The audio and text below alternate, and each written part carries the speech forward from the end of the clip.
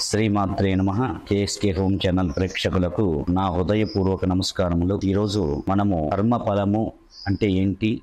ఆ కర్మఫలం వల్ల మనకు జీవితంలో ఏమేమి జరుగుతాయి అనేది మనము నిగుడీకృతంగా తెలుసుకోవలసిన చాలా గొప్పగా ఉంటుంది. కర్మఫలము అంటే మనం చేసినది ఈ జన్మలో అనుభవించేదే. ఒకటి పూర్వజన్మ సుకృత ఫలం అంటారు. ఎన్నో జన్మ ఈ జన్మలు ఎన్ని పుణ్యాలు చేసినా పూర్వజన్మలో చేసిన పాపాల వల్ల మనకు కలిసి రాదు. సంతాన యోగ్యం కలగదు చికాకులు భార్యాభర్తల మధ్య లేనిపోని సమస్యలు ఇబ్బందులు జరుగుతూ ఉంటాయి. అలాంటి కర్మఫలం చేత మనము ఏది కూడా ముందుకు వెళ్తూ ఉండదు. ఎంతో ఉన్నతోన్నత ఇంట్లో పుట్టిన రోగాలు ఇబ్బందులతో బాధపడుతూ చాలా చాలా కర్మలను అనుభవిస్తూ ఉంటావు. అలాంటి కర్మల నుండి విముక్తి చెందడానికి అసలు ఏంటి ఈ కర్మఫలము అంటే దానికి అర్థం ఒక చిన్న వృత్తాంతం చెప్తాం. పూర్వము మగధ దేశమున ఒక తాత మనవడు ఇద్దరు ఉంటారు. ఆ తాతకు ఏడు గుర్రాలుంటాయి. రోజు మనవడు వెళ్ళి బహిర్దేశానికి వెళ్ళి చక్కగా వాటిని మేపి మేపుకొని వస్తూ ఉండేవాడు. ఒకరోజు అక్కడున్న ఒక అశ్వం తప్పిపోతుంది. ఆ అశ్వం తప్పిపోవడం వల్ల ఈ తాతగారు అడుగుతారు ఏమని? అయ్యా అశ్వం తప్పిపోయింది ఏంటి? ఎక్కడికి పోయింది? అని చెప్పేసి మనవడిని అడగగానే మనవడు అంటాడు నేను తోలపోతూ నేను మేపుకొని వస్తున్నాను ఎక్కడో అది తప్పిపోయింది తాతయ్య గారు అంటారు. మనవణ్ణి మందరించడు సరే నా కర్మఫలం బాగలేదు అనేటప్పటికీ మనవడిని ఏమి అనకుండేటప్పటికీ ఏదో పక్క వాళ్ళు ఇంటి వాళ్ళు పక్క వాళ్ళు పాపం ముసలివారు వీరు లేనితనంలో హాయిగా గుర్రాలను మేపుకుంటూ చక్కగా వాటికి వచ్చే సంపాదన మీద మీరు బతుకుతున్నారు. అలాంటిది ఒక గుర్రం తప్పిపోయింది. మీ మనవడి వల్లే ఇది జరిగింది అని చెప్పేసి మీ మనవడి అశ్రద్ధ వల్లే ఇలా జరిగింది అని చెప్పేసి అందరూ కూడా అంటుంటారు కానీ ఆ పెద్ద ఆయన అంటారు నా కర్మ ఫలం బాగలేదు. అతన్ని అనేవాడు అతని అనడం వల్ల నాకు మంచిది కాదని చెప్పేసి అడుగుంటాడు. రోజు కూడా ఆ మనవడు మళ్ళా మిగతా అశ్వాలన్నీ తీసుకొని వెళ్ళి రోజు మేపుకొని వస్తూ ఉంటున్నాడు ఒకరోజు అనుకోకుండా తప్పిపోయిన అశ్వం ఒక మంచి యోధుల లాంటి మంచి గో బ్రహ్మాండమైన గుర్రాలను తీసుకొని వచ్చేసేటప్పటికి ఆ ఊరంతా ఊరు వాళ్ళంతా కూడా ఆ చూసి తను పోయింది ఒకటి దాని ఎంబడి పది గుర్రాలను పెట్టుకొని వచ్చేటప్పటికి ఎంతో ఆ ముసలాయన కూడా ఆ పెద్ద ఆయన కూడా ఆనందపడలే. సరే దాని కర్మ చిత్తం వల్ల నేను ఏ జన్మలో నా కర్మానికి ఇంకా అది రోజు దాచు దానికి నాకు రుణపడి ఉంది. అందుకే వచ్చింది అని చెప్పేసి ఆనందపడ్డాడే తప్ప ఏదో నాకు వచ్చింది ఏదో లేనిపోని ఇంత ఆనందం వచ్చిందని అనుకోలేదు. అప్పుడు ఊర్లో వాళ్ళు మళ్ళీ వచ్చి అంటారు ఏమి గొప్పవాడివయ్యా నువ్వు చాలా అదృష్టవంతుడివి. ఈ ఒక్క గుర్రం పోతే పది గుర్రాలు నీ దగ్గరికి వచ్చి పడ్డాయి. అది నువ్వు ఏ జన్మలో పుణ్యం చేసుకున్నావు? అని చెప్పేసి ఆ తాతగారిని పొగుడుతారు. మనవడు కూడా ఏమీ అనుకోడు.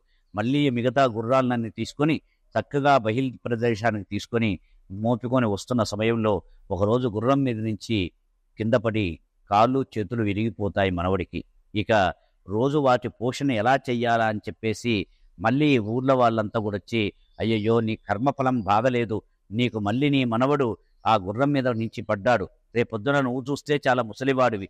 ఎలా మేపుతావు ఈ గుర్రాలన్నీ అని చెప్పి అడిగేటప్పటికి ఆ పెద్ద ఆయన కూడా అనుకోలేదు. సరే నా కర్మఫలం ఎలా జరుగుతుందో అలానే జరుగుతుంది అని చెప్పేసి తనకు ఉన్నంత శక్తిలోనే తను లేచి లేయలేని పరిస్థితుల్లో అశ్వాలను తోలుకొని ఆ మేపుకొని చిన్న సమ నిర్ణీత సమయానికి ఇంటికి వచ్చి కాలంలో జరుగుతూ ఉంటారు. ఒకరోజు నా ఊర్లో రాజుగారు చాటింపేస్తారు.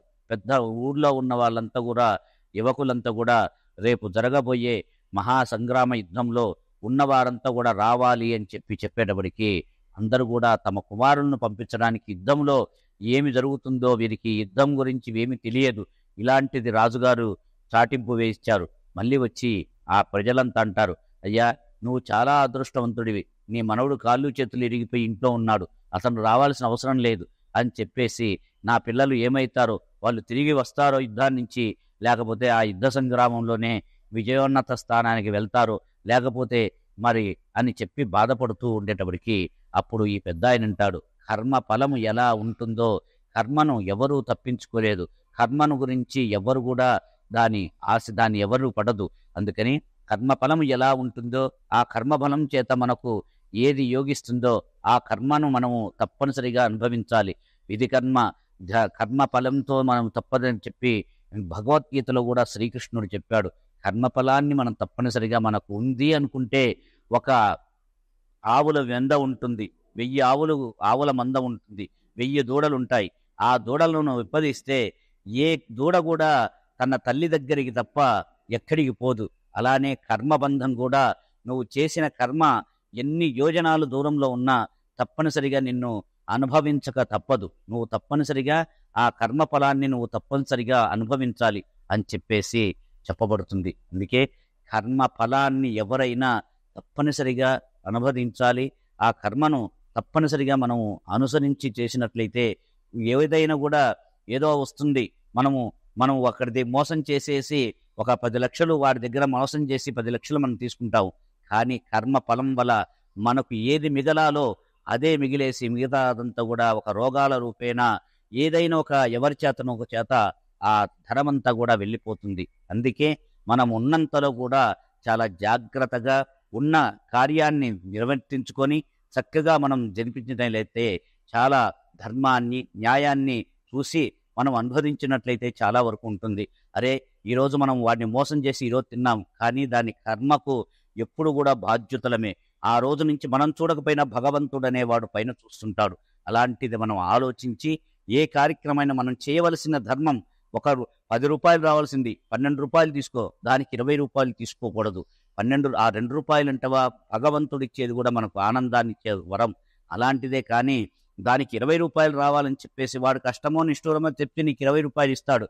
కానీ నీ చేతిలో ఉండదు. ఆ చేతిలో నువ్వు తెచ్చింది కాకుండా నీ చేతిలో డబ్బులు కూడా వెళ్ళిపోతాయి కర్మ పణం వల్ల.